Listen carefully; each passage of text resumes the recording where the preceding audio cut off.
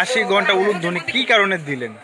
শুধু একটা কারণই দিয়েছি যে ভারতবাসীর সমস্ত ভারতবাসীর যেন এই ভাইরাসের হাত থেকে রক্ষা পেতে পারে এবং ভগবান যেন সবাই মঙ্গল করুন এবং ভাইরাস মুক্ত যেন হতে পারি আমরা সবাই।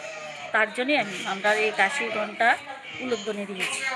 কাশি ঘণ্টা বাজালেন আপনারা। ঈশ্বরের কাছে একটাই প্রার্থনা যাতে বিশ্ববাসী এই করোনা ভাইরাস থেকে মুক্ত হতে পারে, তার জন্য আমরা ভগবানের কাছে প্রার্থনা করি এবং সবাই উদ্ধনী এবং সংশোধনীর মাধ্যমে আমরা ভগবানকে এটাই জানান দিতে চাই।